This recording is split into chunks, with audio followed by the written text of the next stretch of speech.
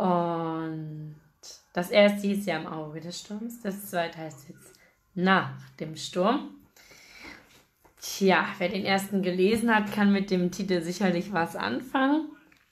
Aber heute lese ich euch mal den Anfang aus dem zweiten Teil vor. Und ich würde sagen, wir legen los. Heute geht es um das Buch von Sally Thomas, Thunder and Lightning nach dem Sturm.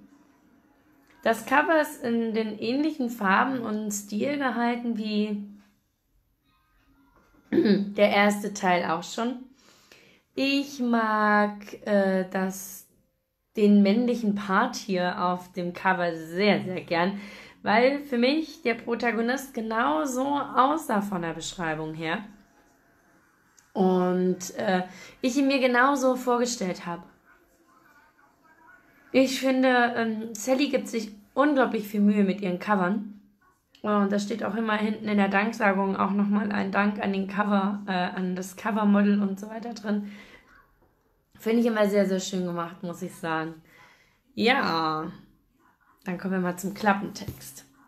Die junge Bostoner Tierärztin Diana O'Leary erbt überraschend eine Ranch in Nevada und macht sich auf den Weg quer durchs Land, um dieses Erbe anzutreten.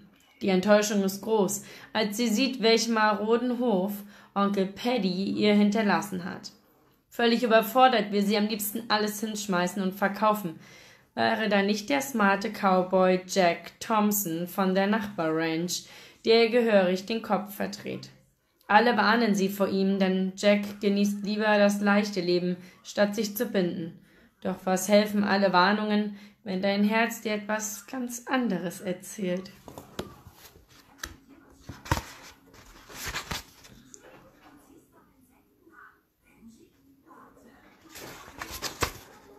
So, Kapitel 1. Jack. Grinsend genoss ich noch einmal die schöne Aussicht auf den nackten Körper im Gras, der sich stöhnend regelt.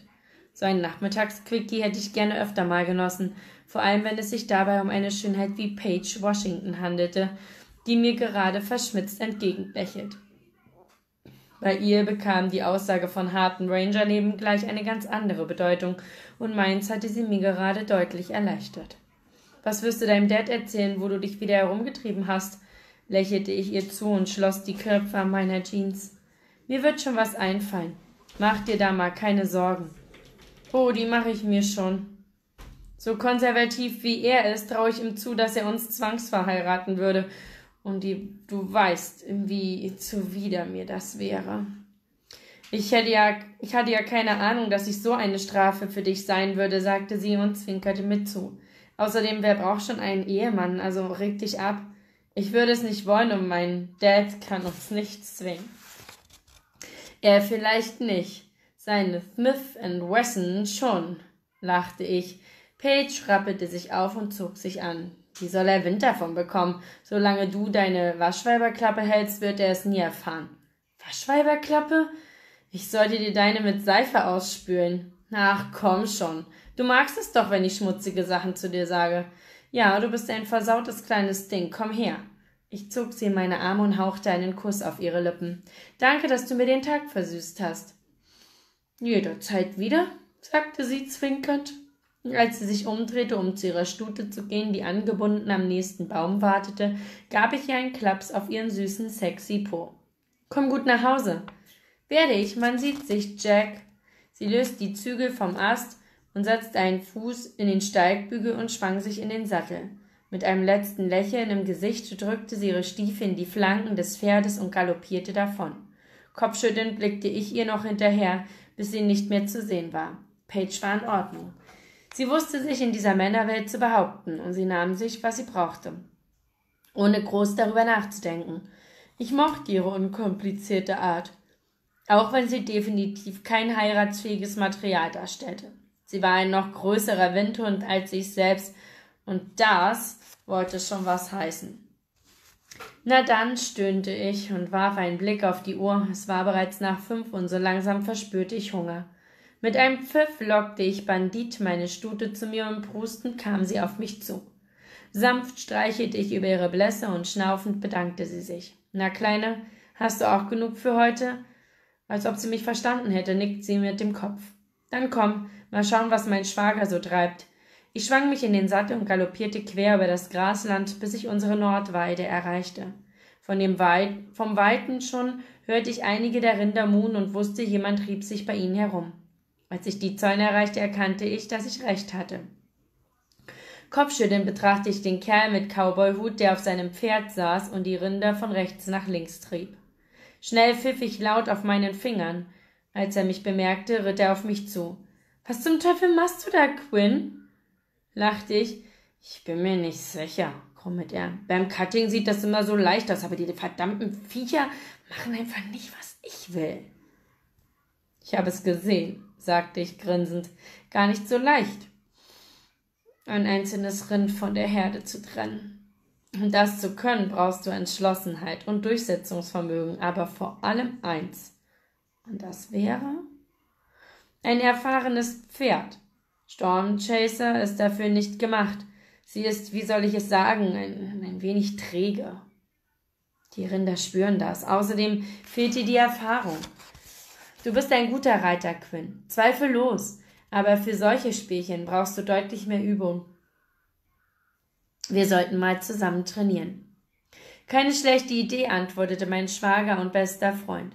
Wenn ich in Zukunft hier mitarbeiten soll, muss ich ein wenig mehr beherrschen, als nur geradeaus zu reiten.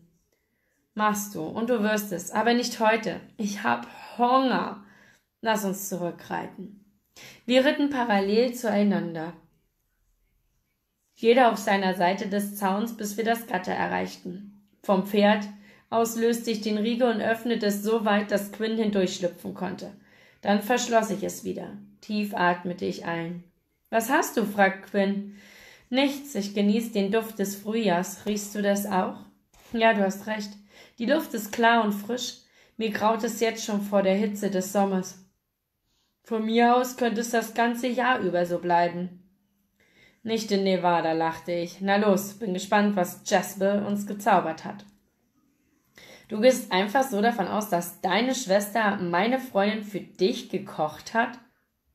Eigentlich schon, antwortete ich und lachte innerlich. Quinn war so ein Weichei, wenn es um meine Schwester ging.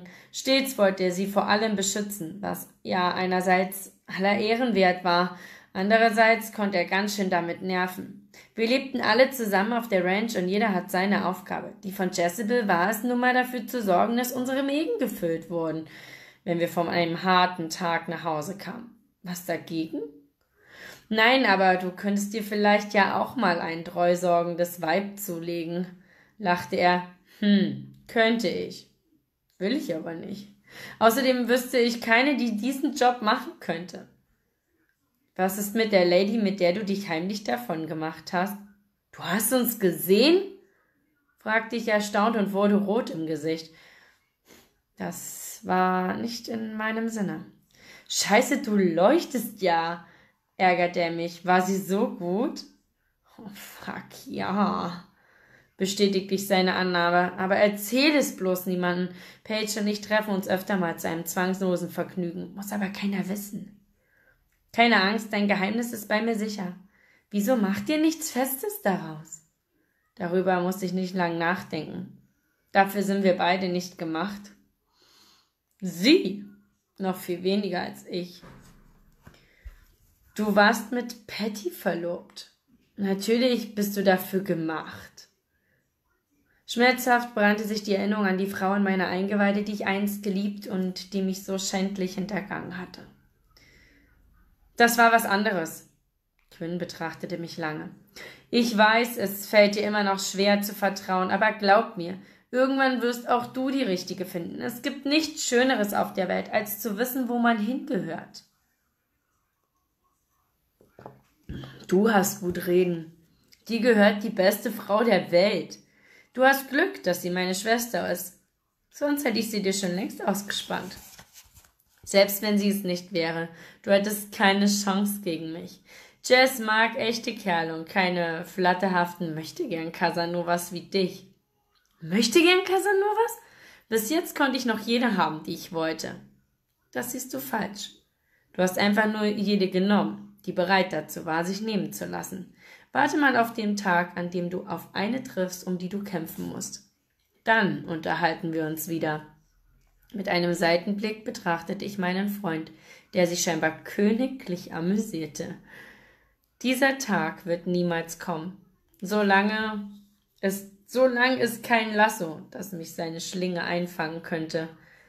Wart es ab. Halt die Klappe. Wow, womit haben wir das verdient? lächelte ich, als wir zum Ranchhaus kamen und ich sah, dass Dad und Jezebel den Grill angeworfen hatten. Zudem schienen alle unsere Cowboys versammelt zu sein und das an einem Donnerstag. Sehr ungewöhnlich. Da seid ihr endlich, grummelte Dad, als ich mit Quinn zusammen zu ihnen trabte. Gibt es was zu feiern, wollte ich wissen, während Quinn zunächst meine Schwester küsste. Eher weniger, seufzte Dad, und ich sah ihn fragend an.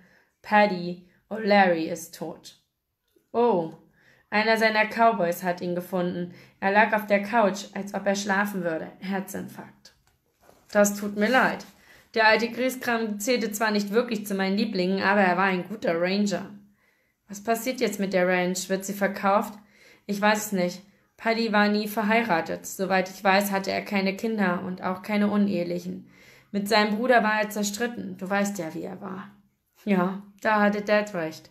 O'Larry war zu Lebzeiten ein mehr als garstiger Zeitgenosse mit fast jedem im Clinch gewesen, der ihm über den Weg lief.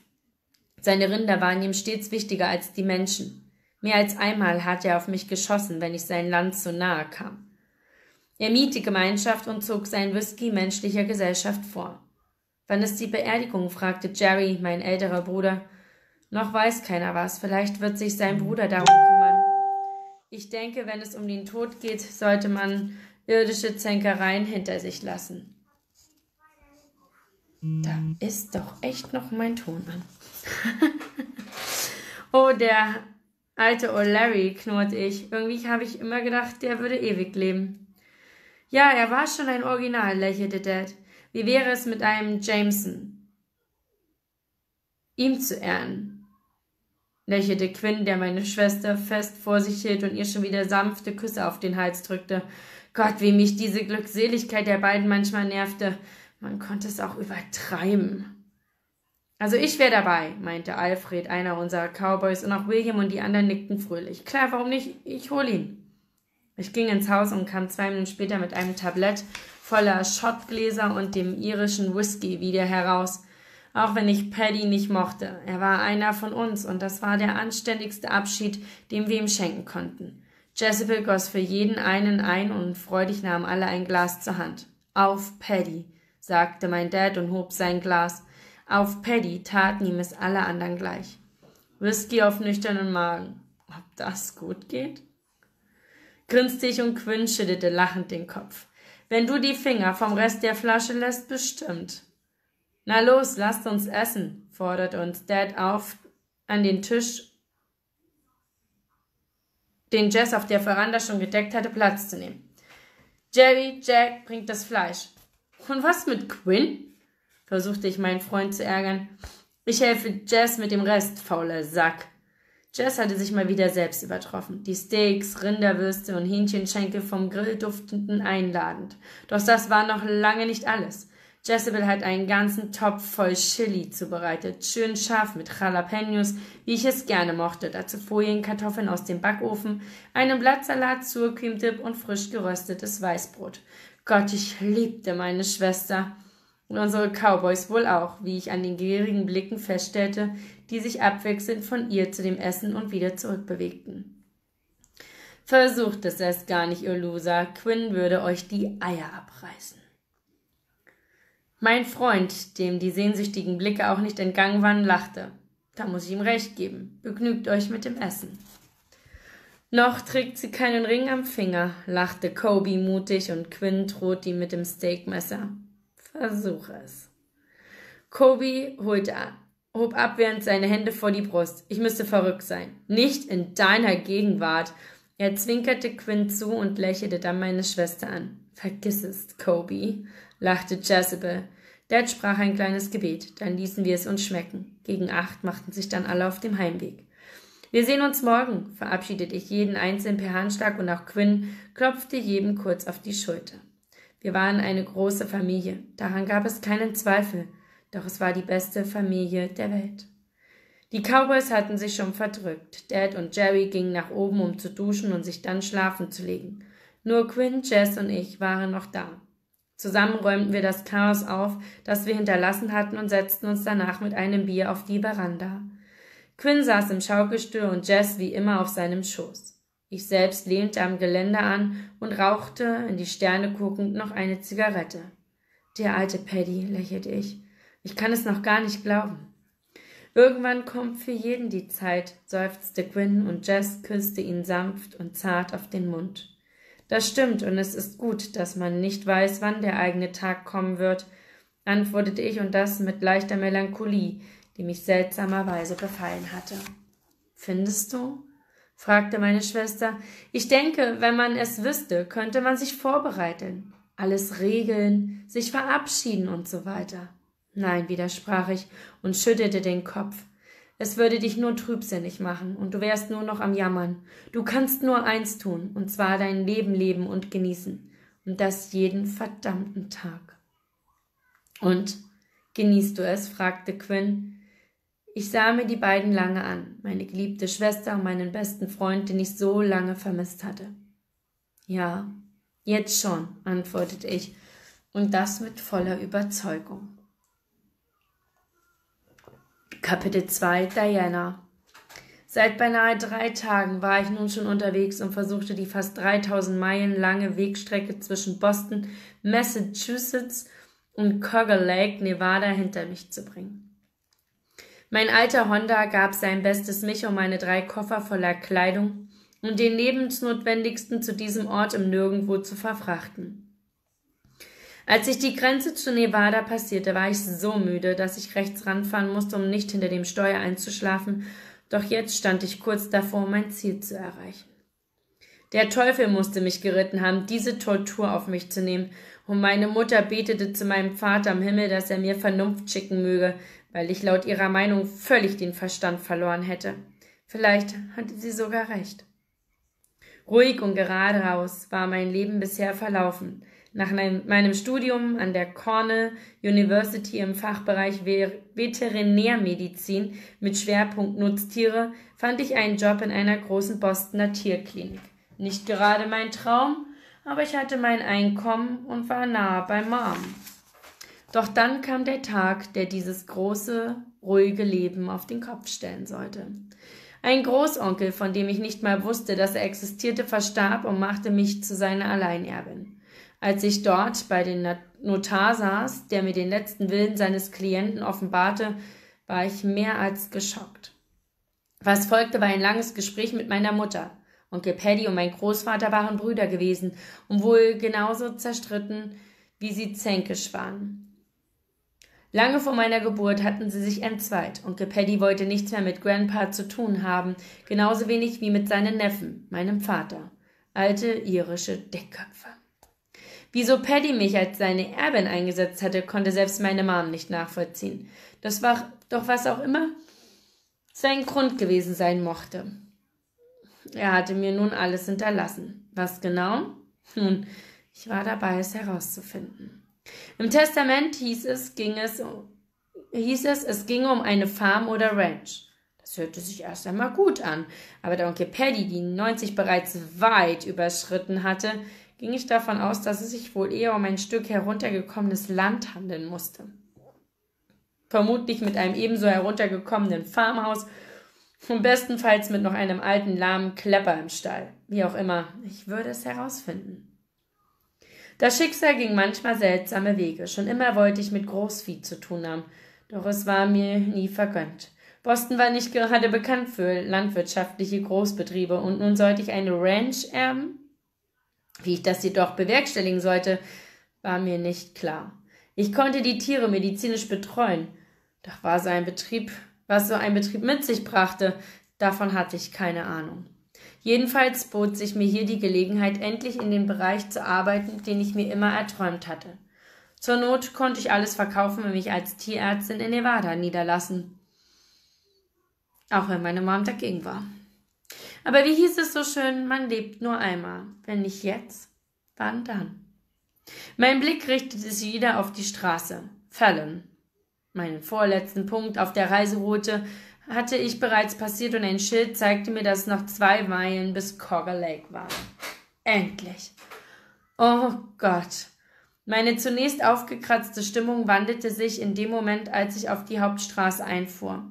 Den Ort als trostlos und öde zu beschreiben, wäre die Untertreibung des Jahrhunderts gewesen. Glaubte ich zuerst, mich in ein malerischen Kleinstädtchen zu begeben, so fühlte ich mich jetzt an eine Geisterstadt erinnert.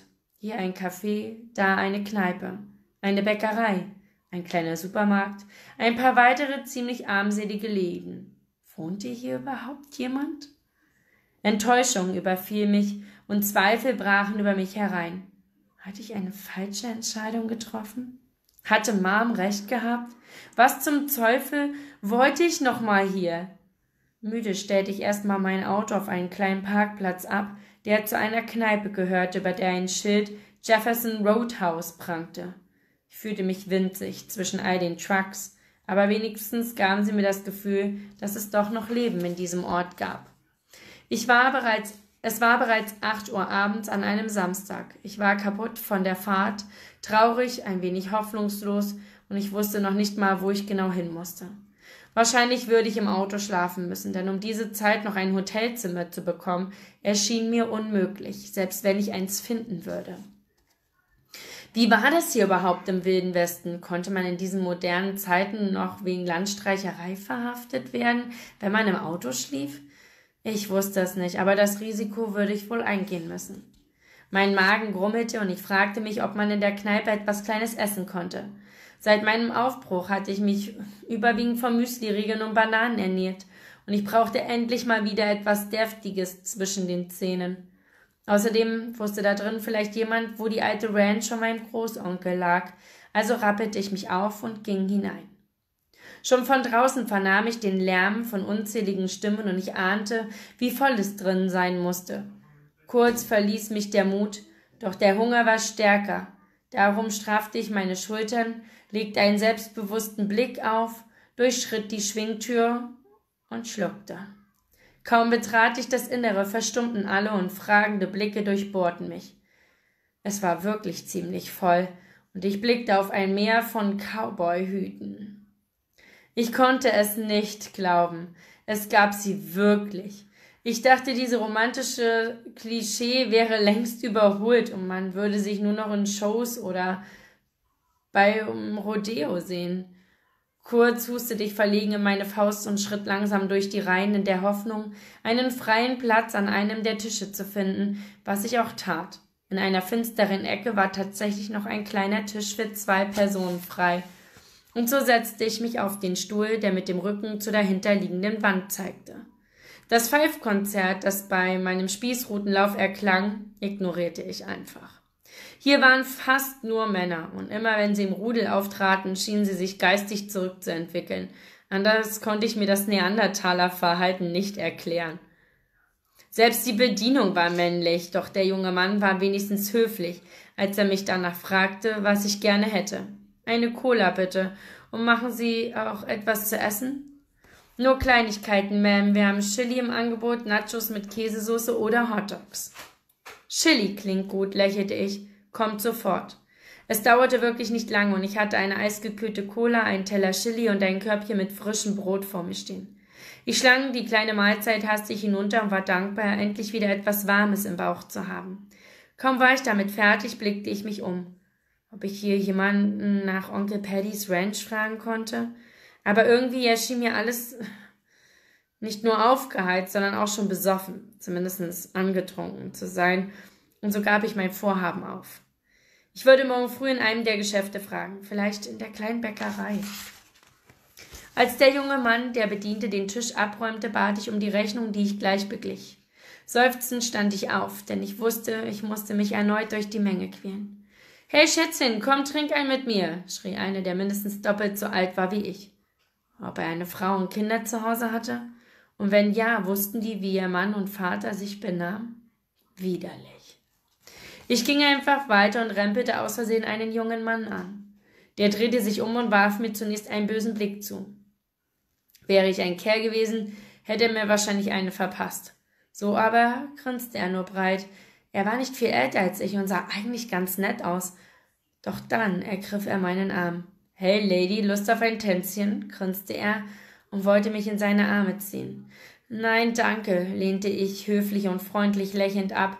Bloß nicht provozieren. Ach komm schon. Ist doch nichts dabei. Ich will doch nur ein bisschen Spaß haben. Tut mir leid, ich tanze nicht. Er fing laut an zu lachen. Habt ihr das gehört? Sie tanzt nicht. Um ihn herum lachten nun seine Freunde und was ihn wohl noch mehr herausforderte. Ich fühlte mich ganz und gar nicht mehr wohl in meiner Haut, denn er ließ mich auch nicht los. Jetzt stell dich mal nicht so an, Süße, oder willst du mich vor meinen Freunden blamieren? Er zischte mir die Worte entgegen und in seinen braunen Augen funkelte es gefährlich.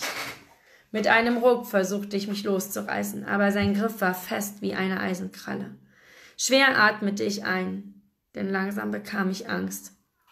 Die Lady hat Nein gesagt, Ethan. Ertönte plötzlich eine Stimme hinter meinem Rücken und die Ansage galt wohl den Cowboy vor mir. Ethan ließ meinen Arm los. Verpiss dich, Jack, das hier geht dich nichts an. Es geht mich immer etwas an, wenn sich jemand gegenüber einer Frau wie ein Arsch benimmt. Geh an die Bar und sauf weiter. Nur langsam wagte ich mich, wagte ich mich umzudrehen und blickte in die schönsten grünen Augen, die ich je gesehen hatte.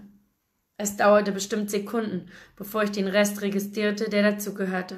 Schwarze Haare standen verwuschelt in alle Richtungen, ein markantes Gesicht mit einer geraden Nase und vollen Lippen, wurde von einem Dreitagebart umrahmt und die Haut war tief gebräunt. Ein weißes T-Shirt spannte sich über seine breite Brust und unter einer schmalen Taille schloss sich eine lässige Jeans an, die leicht ausgestellt über ein paar Cowboy-Boots fiel. Für einen kurzen Moment stockte mir der Atem. Das war ein Cowboy, wie er im Buche stand. Nur der Hut fehlte.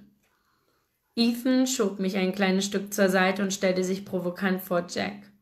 Aufgeblustert trat er direkt vor ihn und ich suchte einen Weg an ihnen vorbei, aber drei weitere Cowboys, vermutlich Freunde von Ethan, versperrten mir den Weg. Mir wurde ganz flau im Magen, denn hier bahnte sich wohl gerade jede Menge Ärger an. Und ich stand mittendrin. War das nicht ein gelungener Auftakt für einen, meinen ersten Abend in diesem Ort? Ich wollte weglaufen, aber weil ich nicht konnte, blieb mir nichts anderes übrig, als dem Drama zuzusehen. Ethan streichelte mit einer Hand über Jacks Schulter, als wollte er eine Fussel entfernen und grinste ihn an. Weißt du, Jack, du gehst mir schon lange auf den Sack. Das ist nicht das erste Mal, dass du mir die Tour versaust und so langsam habe ich die Nüsse dick. Jack grinste zurück. Du hast doch gar keine Nüsse. Die dick werden können, Ethan. Habe ich dir die nicht schon letztes Mal abgerissen, als ich dir eine Abreibung verpasst hatte? Jack machte einen auf nachdenklich und Ethan begann zu kochen. Du blöder Wichser, das letzte Mal war ich betrunken und du hattest Hilfe. Heute stehst du alleine gegen vier. Was willst du jetzt machen? Steht er nicht? erklang eine weitere Stimme. Wenn das so weitergeht, gab es gleich eine Massenschlägerei. Zwei weitere Männer waren rechts und links an Jacks Seite getreten. Einer war noch etwas größer als er und ein gutes Stück breiter. Der andere hatte auffällige Ähnlichkeit mit Jack, nur die grünen Augen fehlten. Gibt's hier Probleme? fragte der große Kerl und Ethan schaute verächtlich. Quinn West. War ja klar. Wo Jack ist, bist du nie weit, stimmt's? Habt ihr was miteinander? Und Jerry, du hältst dich doch sonst auch aus jedem Ärger raus. Wenn es nicht anders geht, antwortet der mit den braunen Haaren und das mit einer sehr warnenden Stimme. Ich hatte das Gefühl, hier ging es schon lange nicht mehr um mich. Ich wollte nur noch weg. Jemand ergriff wieder meinen Arm, nur viel sanfter dieses Mal. Als ich sehen wollte, wer mich festhielt, blickte ich in die gleichen grünen Augen, die ich gerade eben erst gesehen hatte. Nur diese gehörten nicht zu diesem Jack. Raus hier, flüsterte mir die dazugehörige junge Frau zu und zog mich einfach mit sich. Willig ließ ich mich mitschleifen, denn ich ahnte, hier drin würde es gleich rund gehen. Keuchend kam ich vor der Tür an und wurde gleich noch ein Stück weiter geschoben. Lass uns ein paar Meter weggehen von hier. Ich befürchte, hier kommt gleich was durch die Tür geflogen oder jemand. Ohne zu zögern folgte ich der jungen Frau mit den langen honigblonden Haaren. Sie wirkte sympathisch auf mich und irgendwie schien sie zu wissen, was sie tat. Wir liefen, wir liefen noch etwa zehn Meter weiter und blieben neben einem großen Truck stehen. Die Frau hielt mir die Hand hin. Hi, ich bin Jezebel. Diana, stellte ich mich vor und schlug ein. Danke, dass du mich da rausgeholt hast. Keine Ursache, du bist nicht von hier, habe ich recht? Nein. Merkt man das? Lächelte ich gequält. Ein wenig? grinste sie. Geh hier nie ohne männliche Begleitung ins Roadhouse. Das ist gefährlich. Bei all den Testosteron geladenen Idioten da drin, okay? Ich werde es mir für die Zukunft merken. Sollten wir nicht die Polizei rufen? Nein, lachte sie. Ist nicht das erste Mal, dass meine Brüder und mein Freund die Ehre einer Frau verteidigen. Die kommen schon klar. Außerdem wird da drin eh jemand den Sheriff verständigen. Warten wir's ab. Deine Brüder? Dein Freund? Aber hast du denn keine Angst, dass sie verletzt werden könnten? In diesem Moment krachte etwas durch die Tür und schlug hart auf den Boden auf. Ich erkannte Ethan. In dem Moment, äh, ich erkannte Ethan. Nope, meinte Jezebel lachend. Die wissen schon, was sie tun. Seufzend blickte ich hinüber zur Kneipe, wo Ethan sich wieder aufgerappelt hat und erneut hineinstürmte. Dort drinnen schien es wirklich rund zu gehen und immer mehr Cowboys traten lachend und anfeuernd auf die Straße. Yeah! Schrien alle laut, als Ethan zum zweiten Mal durch die Tür geflogen kam, doch dieses Mal war Jack gleich dahinter. Bleib liegen, Idiot, drohte er mit dem Finger. Plötzlich hörte ich Sirenengeheuer und zwei Autos fegten mit Blaulicht auf den Parkplatz. Aus jedem stiegen zwei Cops aus und drei davon rannten zur Kneipe. Der vierte, ein etwas älterer Mann, kam aber zu uns. Hallo Jezebel. Was haben deine Brüder und die Nervensäge von deinem Freund denn jetzt schon wieder angestellt? Knurrte er. Wieso gehen Sie davon aus, dass Sie etwas angestellt haben, Sheriff Tremaine? Weil Sie immer dabei sind, wenn es Ärger gibt? Nur die Ruhe, Tremaine. Wir haben bloß diese junge Dame vor einem Ekelpaket beschützt. Jack. Der Cowboy, der so tapfer für mich eingestanden hatte, gesellte sich zu uns und lächelte mir zu. Ich wurde rot im Gesicht. Jack, wusste ich es doch. Wo ist dein Schatten? seufzte der Sheriff. Der amüsiert sich drin noch mit Jerry, lachte er und wandte sich dann an mich. Alles in Ordnung? fragte er und ich nickte schüchtern, aber dankbar. Ja, danke, es geht schon wieder. Tut mir leid, dass Sie wegen mir Ärger hatten. Jack klopfte einen Cowboyhut, den ich jetzt erst bemerkte, an seinen Beinen ab und setzte ihn auf. Gott! Er sah hinreißend damit aus, und für eine Sekunde saß ich in Gedanken hinter ihm auf einem Pferd, kuschelte mich an seinen Rücken und ritt mit ihm davon in den Sonnenuntergang. Kurz schloss ich meine Augen und schütte mich, um die romantische Anwandlung ganz schnell wieder loszuwerden. Spaß trifft es eher. Hi, ich bin Jack. Er hielt mir die Hand hin und ich ergriff sie. Ein fester Händedruck erwartete mich. Diana. Er hielt meine Hand ein klein wenig zu lange und sah mir dabei tief in die Augen. Leider musste ich zugeben, dass mir dieser Blick durch und durch ging und ein Prickeln in meiner Magengrube aufzog, doch dann ließ er los und dieser Sheriff kam zu mir. Können Sie mir sagen, was da drin los war? Natürlich. Ein Kerl, Ethan heißt er wohl, hat mich belästigt. Jack ist nur für mich eingetreten und die beiden anderen auch. Kaum erwähnte ich sie, gesellten sie sich zu uns. Tremaine, lachte der Große, wie immer zu spät. Halt die Klappe, Quinn. Gott, Jerry, deine Lippe blutet. Ja, ich weiß, antwortete der mit der warmen Stimme. War wohl nicht schnell genug. Mir fehlt die Übung, lächelte er, und dieses Lächeln war genauso einnehmend wie das von Jack. Jerry musste dann wohl Jacks Bruder sein und Quinn Jezebels Freund. Wie viel Bruch gab es drin? stöhnte der Sheriff und die drei Männer lachten. Nicht viel. Ein paar Gläser und Stuhl hat es gekostet, antwortete Quinn und zog Jezebel in seine Arme. Emilio wird uns eine Rechnung dafür ausstellen. Ethan und seine drei Kumpels haben wir mit einem Strauß Blumen abgefunden. Alles gut. Blumen? fragte Tremaine. Ein Strauß Veilchen, ja, grinste Jack. Und der Sheriff schüttelte den Kopf. Tut ihm einen Gefallen. Welchen denn? Geht nach Hause. Mit diesen Worten ließ er uns stehen und ging hinüber zu seinen Leuten, die Ethan und seine Kompagnon in, der Mangel, in die Mangel nahmen. Alle um mich herum kicherten, aber mir war plötzlich gar nicht mehr nach Lachen zumute. Wenn diese drei nicht gewesen wären, hätte es auch anders ausgehen können. Räuspernd wandte ich mich an sie. Ich danke euch, das alles tut mir sehr, sehr leid. Wirklich, ich hoffe, ihr bekommt jetzt keine Probleme.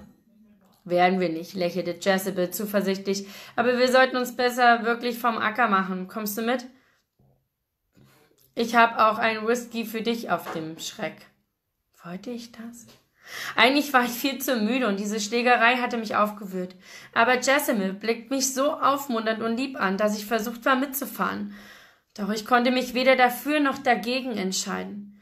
Ich stand einfach nur da und guckte blöd in ihre Gesichter. Schließlich kam mir dieser Jerry. Schließlich kam dieser Jerry zu mir. Du siehst verloren aus. Ist wirklich alles okay? Ja, sicher. Ich habe nur eine sehr lange Fahrt hinter mir und ich schlafe fast im Stehen an. Außerdem habe ich noch kein Zimmer für heute Nacht und ich weiß nicht, wo hier ein Hotel ist. Mein Handy zeigt mir keins an. Jack lachte. Du wirst auch keins finden. Es gibt nur ein Motel hier in Cogger Lake. Ich kenne die Besitzerin. Wenn du willst, frag ich bei ihr nach. Und Setz blickte ich ihn an. Ein Motel? Das hatte einen faden Beigeschmack für mich. Wusste ich doch, wer dort meistens verkehrte. Doch darüber nachdenkend lachte Quinn laut auf und küsste kurz seine Freundin. Was habt ihr Frauen für Probleme mit Motels? Dann wandte er sich an mich. Nicht jedes Motelzimmer wird für Schäferstündchen benutzt, aber ich kann nicht verstehen, dass es dir unangenehm ist. Wie lange willst du denn in Cougar Lake bleiben? Lange, verzog ich meinen Mund, aber ich brauche nur für heute ein Zimmer. Morgen mache ich mich auf die Suche nach der O'Larry Ranch. Ich hoffe dann dort schlafen zu können. Die O'Larry Ranch? fragte Jack. Was willst du dort? Wohnen, leben, arbeiten? Ich weiß es noch nicht. Nun, antwortet er mit einer tiefen Stimme, vielleicht hast du es nicht gehört, der alte Paddy lebt nicht mehr. Ja, ich weiß. Darum bin ich hier, ich habe seine Ranch oder Farm, was auch immer es ist, geerbt. Und dummerweise habe ich mich auf den Weg von Boston hierher gemacht, um mir alles anzusehen. Geerbt? Bist du verwandt mit Paddy? Er war mein Großonkel.